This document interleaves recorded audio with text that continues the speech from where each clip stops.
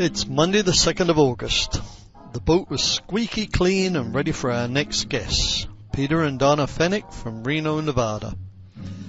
They arrived a little later than we expected because they'd gone to Marylebone instead of St. Pancras railway station. After they settled in and stowed their gear, we walked over to the wharf for dinner. We bid farewell to Welford the next morning and headed back down the Arm and back on the Grand Union Canal.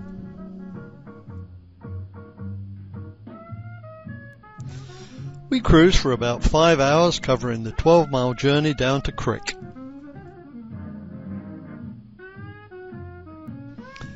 In the afternoon we walked into town and had a few pints and played bar skittles at the Wheatsheaf. Then we went looking around town to find somewhere to eat.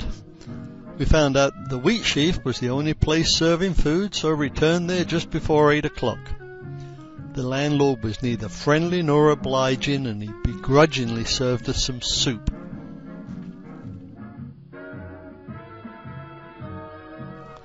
On Wednesday, Peter took us through the 1,528 yard long Crick Tunnel.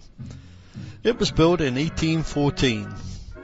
It's known as a wet tunnel because there's always a fair amount of water dripping down from the roof.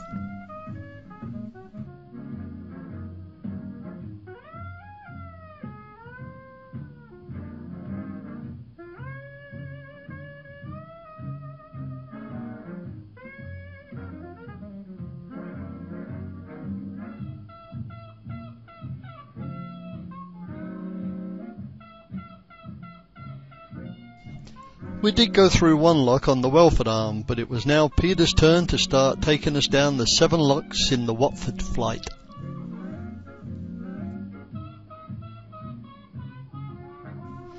Pat and I tried out the minnow at the top of the lock, but we decided that Claire Justine was much nicer.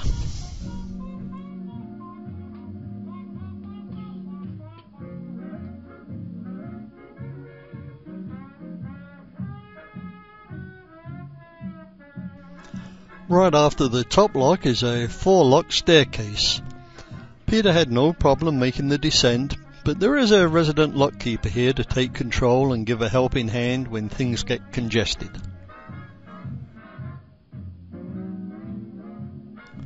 After the staircase, it was Donna's turn to try her hand at taking a 60 foot boat into a skinny lock, and she had no problems. But I'm not sure if that's a sigh of relief on her face or if she's just ordering a cocktail from the bar.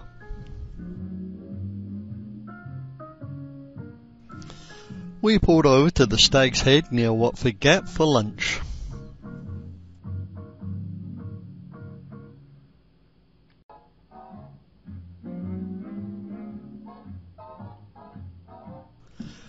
We were going to eat outside, but they set a table up for us inside. It was a very nice lunch served with linen and silverware. The landlord was from Portugal. He was a very interesting fellow to talk to. The dogs obviously felt at home here.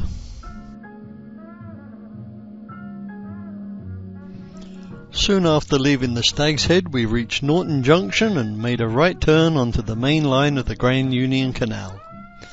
By the way, I forgot to mention that Peter brought along some of his friends, and that's Ducky on the roof with him. And here we have Funky and Bun. I have no idea why he brought his friends. You'll have to ask Peter if you want to find out why.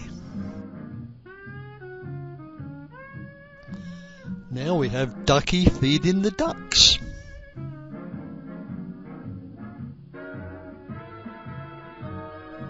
After turning onto the main line, we went through the 2,042 yard long Braunston Tunnel.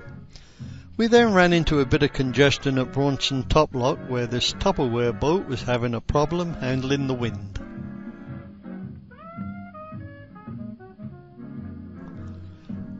As it was a bit windy and we were in no hurry, we decided to moor up for the day above the top lock. Oh, I forgot to mention that Puppy was also a member of our crew. Here he is trying to pick up on Ducky.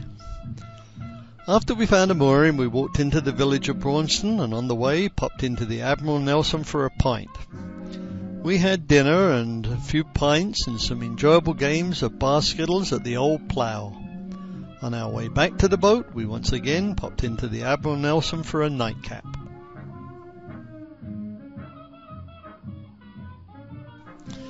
Ronnie called on Thursday morning to say that he was in the area and we arranged to meet him at Braunston Turn around noon. Peter Donna and I went up to the old plough while Pat waited for Ronnie.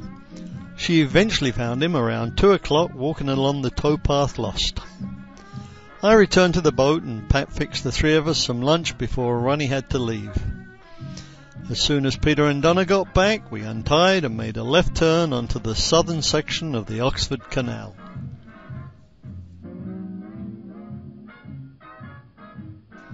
Here are a few shots that we took as we cruised along the Oxford Canal.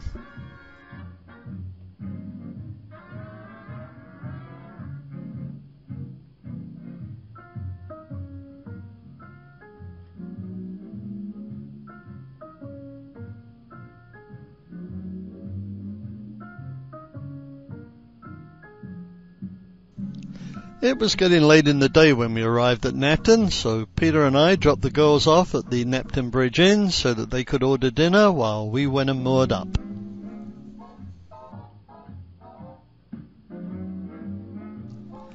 Peter was up bright and early and walked into the village of Napton on the Hill before breakfast to get a newspaper and some freshly baked bread. Oh yes, he was upset that he had to pay sixpence for a plastic bag.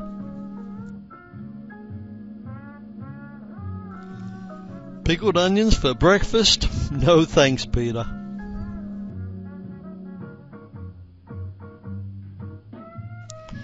It was a nice sunny morning on Friday as we left our mooring and went down to the winding hole just before Napton Bottom Lock. By the way, last night's mooring was one of those where we had to use the gangplank to get off and on the boat. The bank had caved in and so we couldn't get close to the side.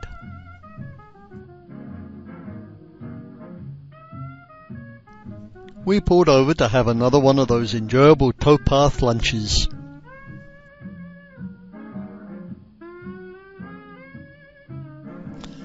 Donna took the tiller as we made our way back to Braunston. This section of the Oxford Canal from Napton Junction, also known as Wigram's Turn, up to Braunston is also part of the Grand Union Canal. At Braunston Turn, we started cruising the north section of the Oxford Canal. We stopped off in Rugby to check tomorrow's train times for Peter and Donna.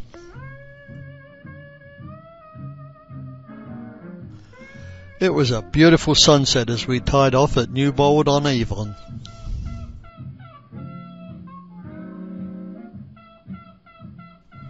I guess the girls must have done all the steering today because it looks like we got conscripted for galley duty, and obviously not happy about it. Actually, I think it was only the glasses we had to wash because we walked down to the boat for dinner and then next door to the Barley Mow for a few drinks.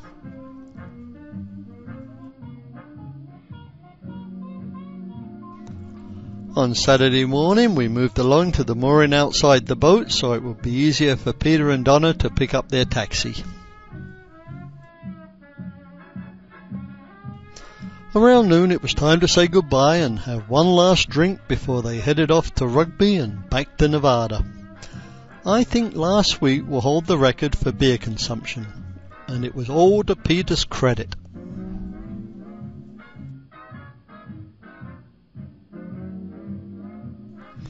Isn't that nice? Ducky is saying bye-bye to Polly.